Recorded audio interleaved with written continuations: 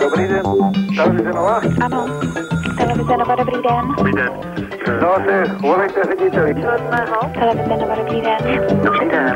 Tady dotaz. Já bych měl pro vás námět na reportáž.